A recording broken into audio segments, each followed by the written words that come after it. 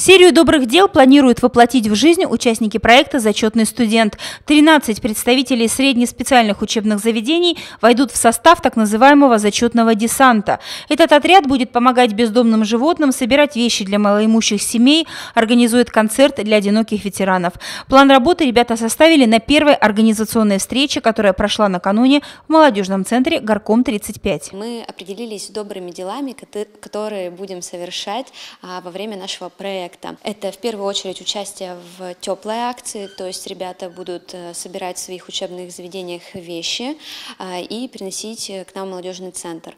А также мы планируем провести профориентацию для ребят из детских домов. В рамках профориентационной работы а, студенты расскажут о своей профессии, которую получают, и о своей учебной организации, где они учатся.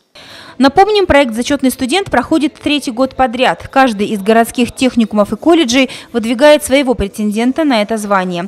В этом году в проекте 13 участников, но лишь 7 человек пройдут в финал. Их имена определит специальная комиссия, которая внимательно оценит собранные конкурсантами портфолио. Финал проекта состоится 17 ноября на сцене Дома культуры льнокомбината. Студенты представят творческую визитку, пройдут блиц-опрос и интеллектуальный конкурс, сразятся в конкурсе «Агит-бригад». Мария Помилова, Екатерина Олейникова, Михаил Прищев, Вологда портал.